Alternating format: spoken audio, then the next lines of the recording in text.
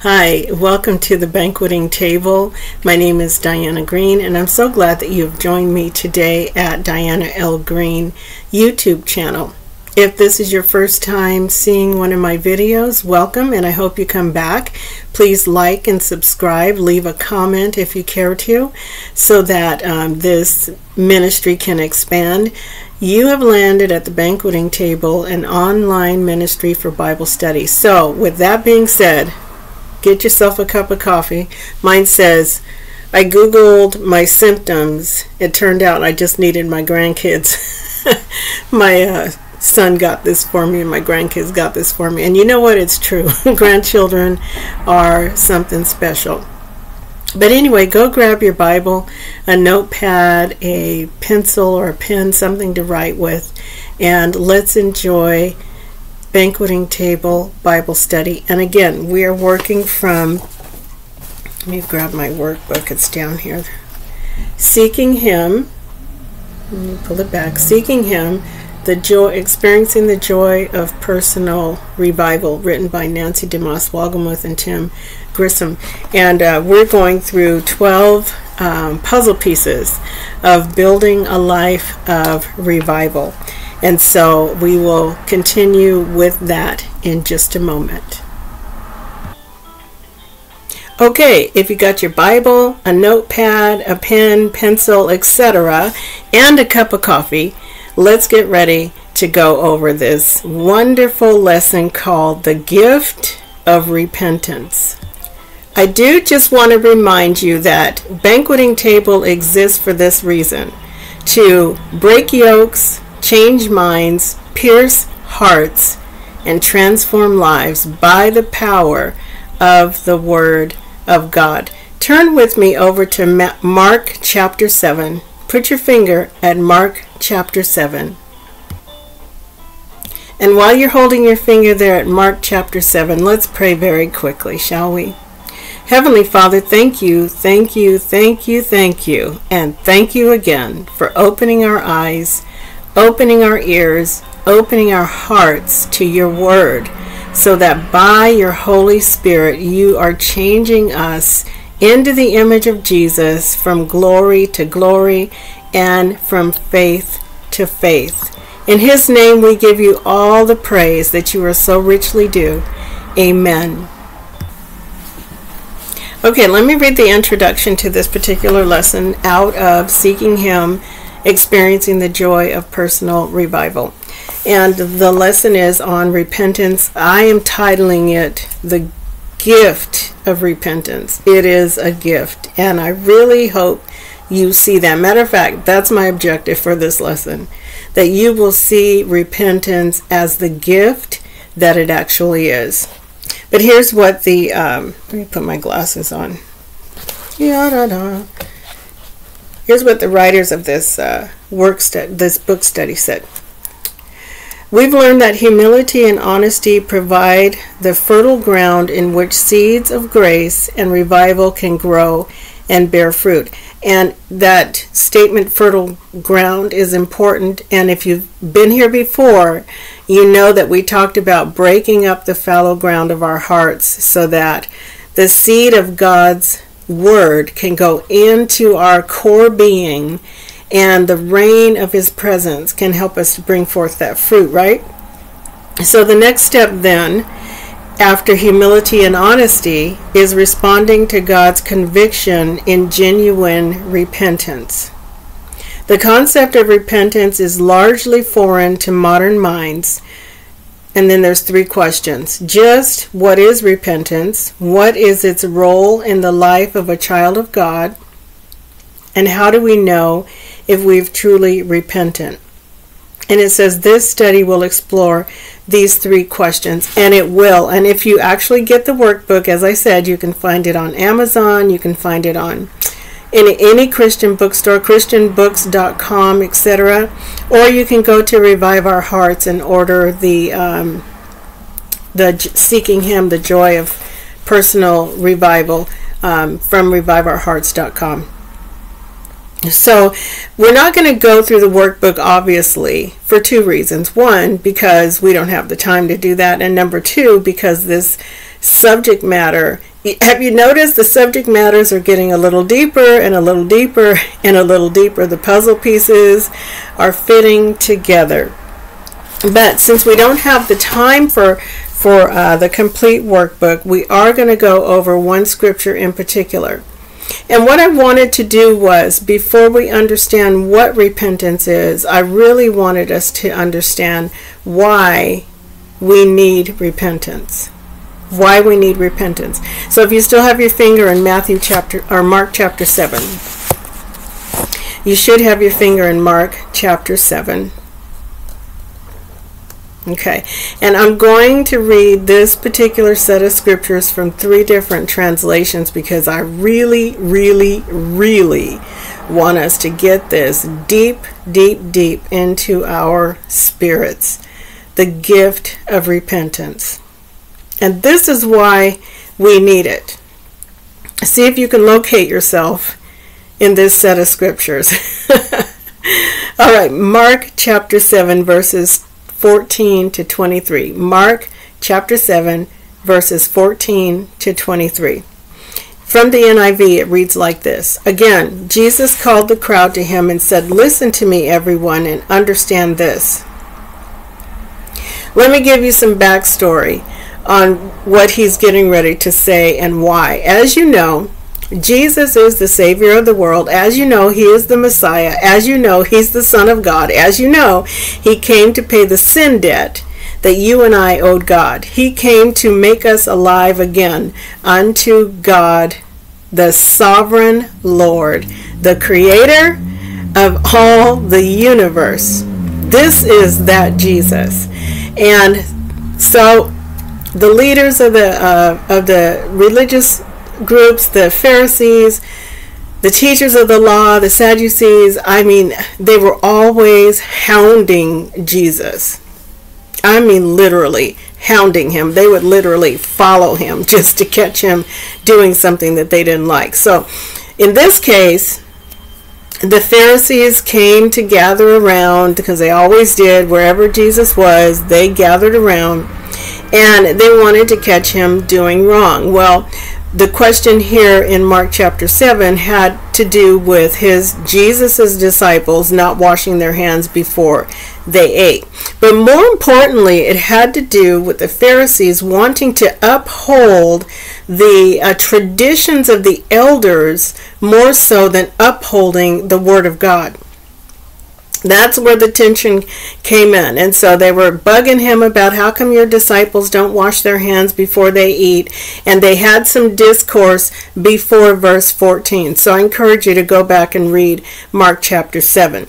But at verse 14, again Jesus called the crowd to him and said, Listen to me, everyone, and understand this. This is the importance of whether or not they wash their hands or not. Nothing outside a person can defile them by going into them. Rather, it is what comes out of a person that defiles them. And after he had left the crowd and entered the house, his disciples asked him about this parable. Are you so dull? He asked them, Don't you see that nothing that enters a person from the outside can defile them? For it doesn't go into their heart, but into their stomach and then out of the body. And in saying this, Jesus declared all foods clean.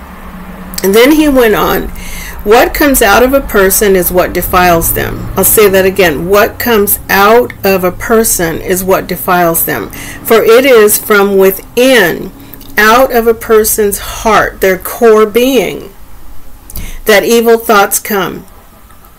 Now, listen to what these evil thoughts lead humans to do, you and me included sexual immorality, theft, murder, adultery, greed, malice, deceit, lewdness, ew, ewness, lewdness, envy, slander, arrogance, and folly. All these evils come from inside and defile a person. The New Living Translation puts it like this. Same set of scriptures, Mark chapter 7, verses 14 to 23. New Living Translation. Then Jesus called the crowd to come and hear. All of you listen, he said, and try to understand. It's not what goes into your body that defiles you. You are defiled by what comes from your heart. I'm talking about why you and I need the gift of repentance. Verse 17 Then Jesus went into a house to get away from the crowd, and his disciples asked him what he meant by the parable he had just used. Don't you understand either? He asked. Can't you see that the food you put into your body cannot defile you? Food doesn't go into your heart, but only passes through the stomach, listen to this, and then goes into the sewer. By saying this, he declared that every kind of food is acceptable in God's eyes. If you notice what I'm doing, is that these this same set of scriptures is going to get a little more clear and um, well a little more clear as we go along so by saying this he declared that every kind of food is acceptable in god's eyes and then verse 20, and then he added, It is what comes from inside that defiles you, for from within, out of a person's heart, man or woman, boy or girl, come evil, th- the man or woman, boy or girl, I added that, come evil thoughts, sexual immorality, theft, murder, adultery, greed, wickedness, deceit, lustful desires, envy, slander, pride, and foolishness. All these vile things come from within, they are what defile you. Still talking about how come your disciples don't wash their hands? Amen. Then in the message translation, it reads like this. Well, the message paraphrase. The message Bible is a paraphrase. It's not a tran- it's not a translation, but it reads like this. It is the word it it explains the word of God in very everyday language. So here we go. Um, verse 14 and 15 Jesus called the crowd together again and said, Listen now, all of you, take this to heart. Take this to heart. In other words, don't just push this aside, take this to heart. It's not what you swallow that pollutes your life, it's what you vomit. That's the real pollution. When he was back home after being with the crowd, his disciples said, We don't get it. Put it in plain language. Jesus said, Are you being willfully stupid? That's pretty strong. Are you being willfully stupid? Don't you see that what you swallow can't contaminate you? It doesn't enter your heart but your stomach works its way through the intestines and is finally flushed. You really can't get much plainer than that. That took care of dietary quibbling. Jesus was saying that all foods are fit to eat. And this particular statement, in all the translations I have, the paraphrase that I have here, are in parentheses. He went on to say, It's what comes out of a person that pollutes obscenities, lust, thefts, murders, adulteries, greed, depravity, deceptive dealings, carousing, mean looks, slander, arrogance, foolishness. All of these are vomit from the heart. There is the source of your pollution. That's pretty powerful and plain. They, they said, Tell it to us plainly. And so he did. But that is why, my friends, you and I need this gift called repentance. And thank God we can repent before Him when we have done these evil, wicked things. When our heart has vomited up wicked thoughts, wicked actions, and wicked words. Amen. Thank God for repentance.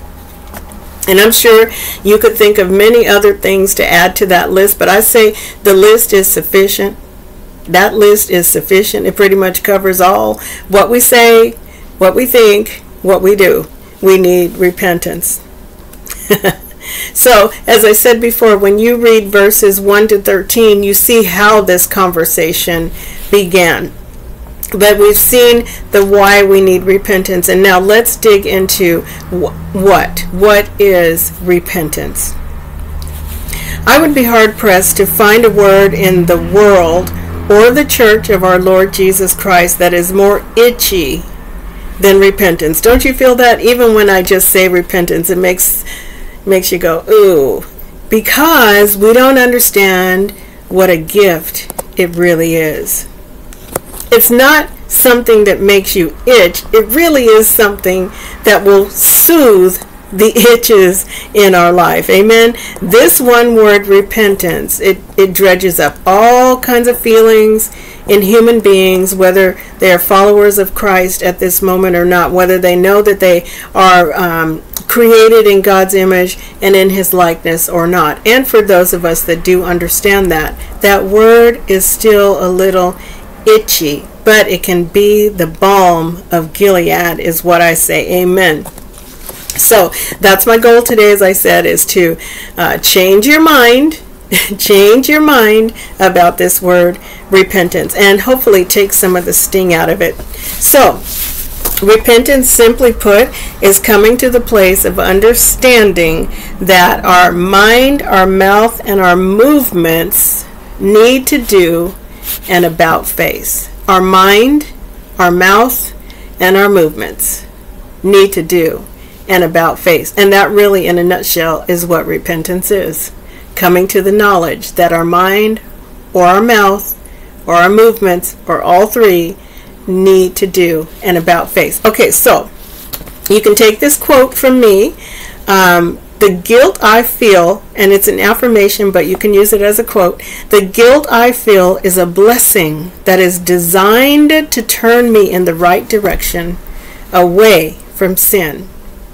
The guilt I feel is a blessing that is designed to turn me in the right direction away from sin. Amen. So thank God for the gift of repentance.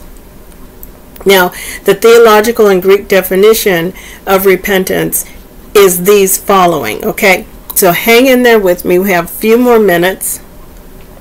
The Hebrew picture word for repent is spelled shin biet and it has a powerful visual of what repentance looks like. Now, for you to see what I saw, you will have to go to the YouTube video called Repent in Ancient Hebrew. It just explains the word repent in ancient Hebrew and it gives a great visual. And the visual that I got was Angela Bassett in the movie Waiting to Exhale.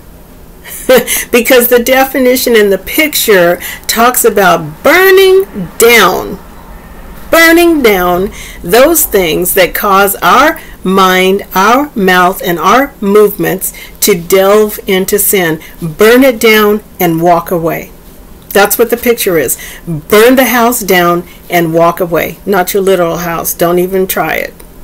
Burn down those things that are causing your mind, your mouth, and your movement to sin and walk away. That's the Hebrew picture, but I want you to see it for yourself. So go to a YouTube, the YouTube channel. The video is called Repent in Ancient Hebrew. I think you're going to like it. And so, for the sake of this lesson, I just want to make sure I, I uh, share what repentance is not. Repentance is not metamorpho. Repentance is not metamorpho. Uh, that word metamorpho, it means um, changing something from one essence to completely another, such as Jesus' transfiguration on the mountain with, um, well, Elijah was there, Moses was there, James, John, and Peter were there, and Jesus was there, and the glory of the Lord, and God was there. The cloud of the Lord came down. God was there, and He said, This is my beloved Son, and uh, listen to Him. And so, seven persons were there God, Jesus, Elijah, Moses, Peter, James, and John. But Jesus was the only one that was literally transfigured. That is metamorpho. That is not quite repentance in this um, for the sake of this lesson. Nor is repentance metaschematizo, metaschematizo, metaschematizo. And that word describes changing something into something else. The example that was given is um, like you have a flower garden in your yard and you change it into a vegetable garden. It's still a garden, it's just a different kind of garden. So repentance is not that either for the sake of this lesson, but what it is is metaneo. Metaneo and metanoia. Metanoeo. Metanoia. O-E-O-E-O. Metanoio and metanoia. They are the two uh, Greek words that are closely re- related, and they have in mind these things. They have indications of metamorpho and metaschematizo, but they have some indications of that, but they are not that. Metanoio and metanoia are this, and this is the repentance that the that Jesus was talking about.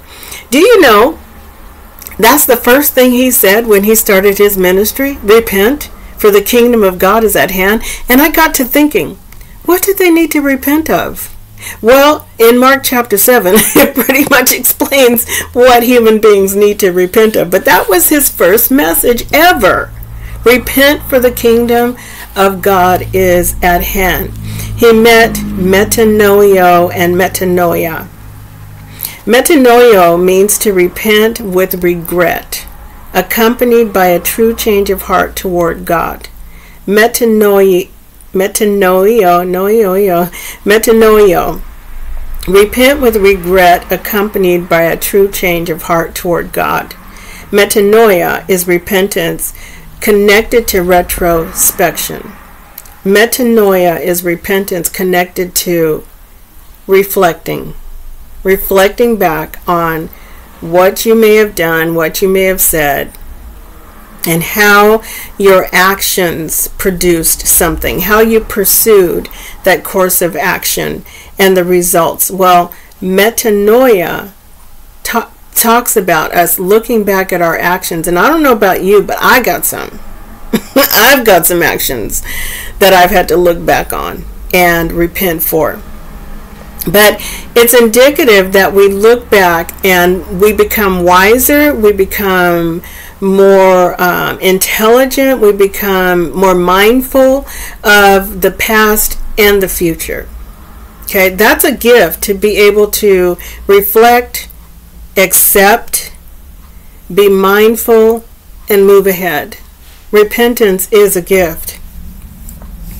So, how do you know that you need to turn around in your mind, your mouth, or your movements? How do you know that you need to turn around? Well, I have an example for you.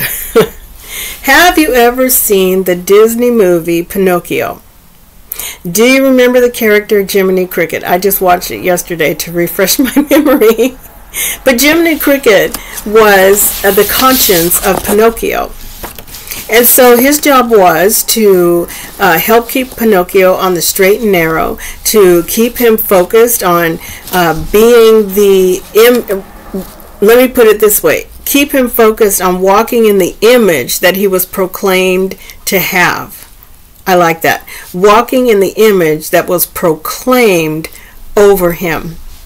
And so Jiminy Cricket's job was to keep him walking in the image that was proclaimed over him. And we have been given a conscience as well.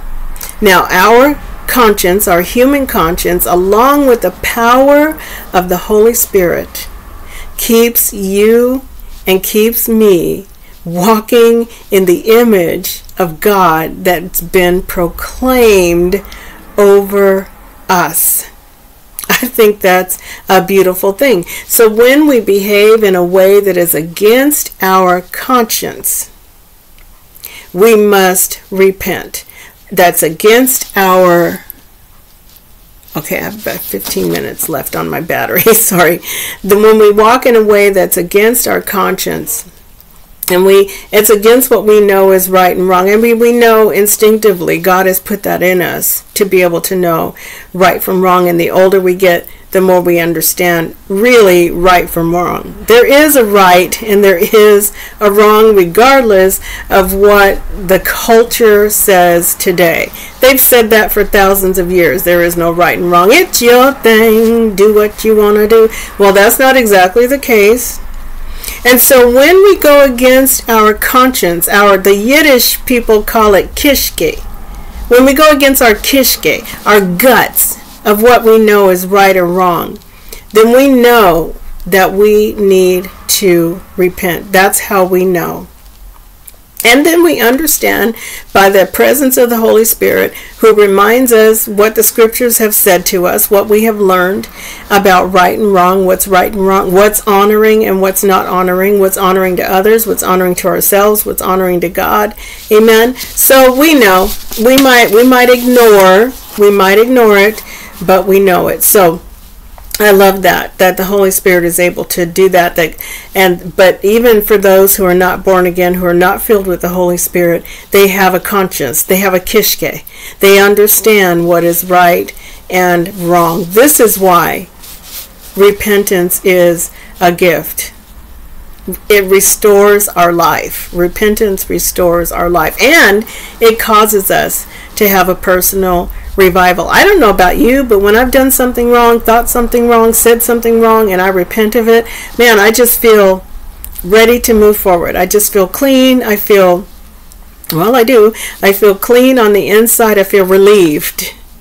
And I feel relived. Relived, revived. Amen. So let me make a final statement um, about repentance today. Again, I want you to think about the fact that when Jesus started his ministry at 30 years old, the first thing out of the gate, and he was filled with the power of the Holy Spirit. After his baptism, after his temptation, he began his ministry, and the first thing out of his mouth was repent. Turn around. Make a big turn around burn down your house of sin and return to the house of God. Burn down those temptations of your mind, your mouth, your movements, and return to the safety that is in the arms of our Father God in heaven.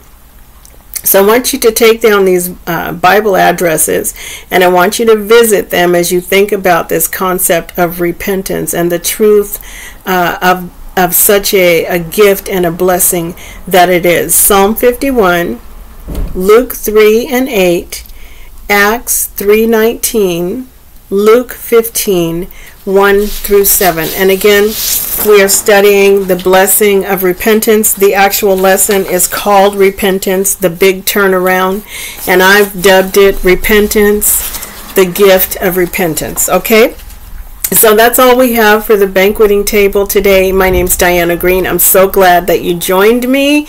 And until we meet again, may the Lord God of heaven and earth keep you and bless you. Amen.